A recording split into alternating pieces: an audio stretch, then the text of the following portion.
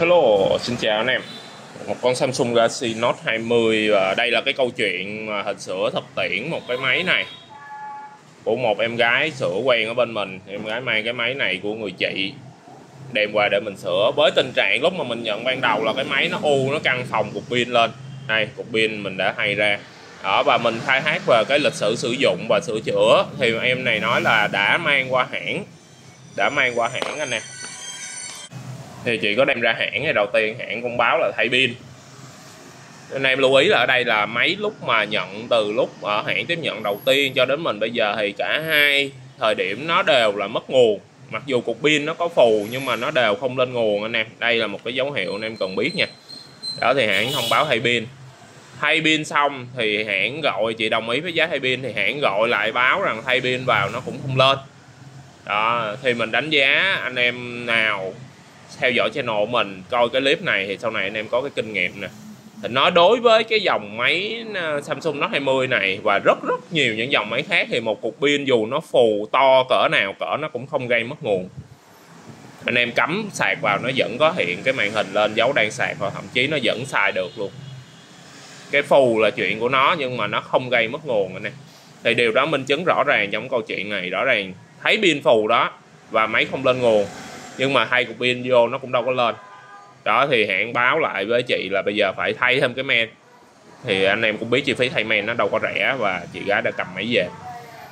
Chi phí thay men cái dòng này trong hãng uh, theo như dự đoán của mình giá men mới nó cũng phải tầm khoảng 8 9 triệu đổ lên. Đó rồi cầm máy ra về và chị gái đưa qua cho mình. Hiện tại anh em cùng xem kết quả sửa chữa với mình máy đã lên dữ liệu còn nguyên mật khẩu còn nguyên, có nghĩa dữ liệu còn nguyên. Mọi thứ hoàn hảo hết, ha. Dĩ nhiên cục pin phù thì mình vẫn thay thay bằng một cục pin zin khác luôn. Đó, mình chỉ thay pin zin thôi. Đó, nghĩa là chất lượng máy này nó đã trở về trạng thái tuyệt vời nhất của nó. Dữ liệu còn, pin đã được thay pin zin chi phí sửa chữa cực kỳ thấp bởi vì mình không phải thay toàn bộ cái men. Rẻ hơn rất là nhiều lần, tính bằng lần chứ không phải là bao nhiêu phần trăm. Đó, anh em lưu ý ha để làm được cái điều này thì nó quy tụ tất cả những yếu tố mình hay nói về, gọi là, cái sứ mệnh và cái thế mạnh của bên mình, đó là sửa chữa chuyên sâu. Tóm tắt lại vậy thôi, sửa chữa chuyên sâu. Chuyên sâu có nghĩa là gì? Là dễ, khó gì cũng mày mò nghiên cứu, cũng làm, chứ không phải chỉ chọn cái dễ mà làm.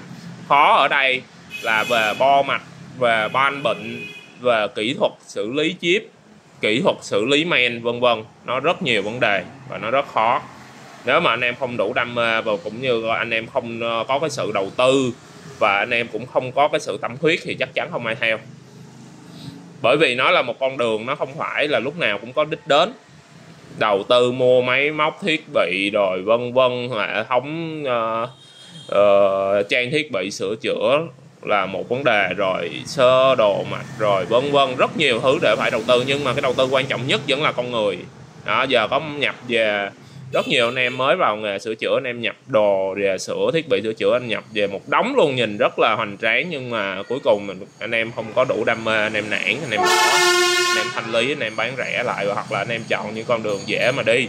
Đó hay màn hình hay pin rồi nọ. Dĩ nhiên ở đây nó có cái tố chất ở đây đó, hình nói một lan man một xíu đây. Có tố chất ở đây chứ mà nếu mà anh em nói mà anh em cứ việc ờ, đau đầu với là anh em không có cái tố chất ở lĩnh vực này, anh em làm đâu được, mỗi người đều có cái thế mạnh riêng. Rồi, ok anh em. Rồi, quay lại vấn đề kỹ thuật của máy này. Máy này nó bị cái gì anh em?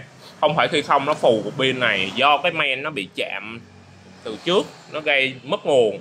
Và khi một cái men bị chạm, anh em cứ gắn pin vào, nó sẽ có hiện tượng, nó rút xả rút xả liên tục, hoặc là nó kích vào những cái mạch pin của viên pin mạch pin là ở trên đây nè anh em nó gây nên hiện tượng phù cục pin.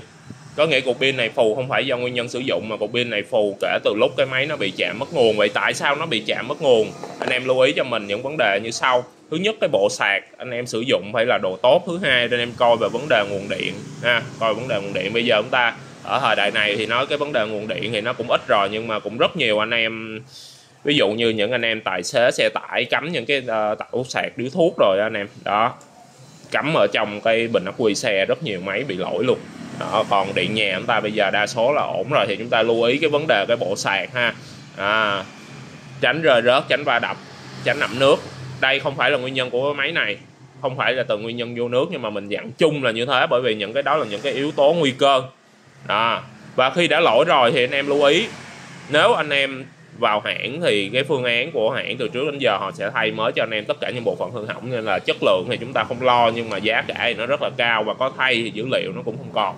Ở ngày nay nhiều khi anh em sửa cái máy chỉ vì dữ liệu thôi. Đó, thậm chí cái máy đập bánh chanh rồi anh em cũng chỉ muốn lấy dữ liệu ra. Điều đó là rất thường gặp bởi vì ngày nay cái điện thoại là cái cần cầu cơm của chúng ta rồi.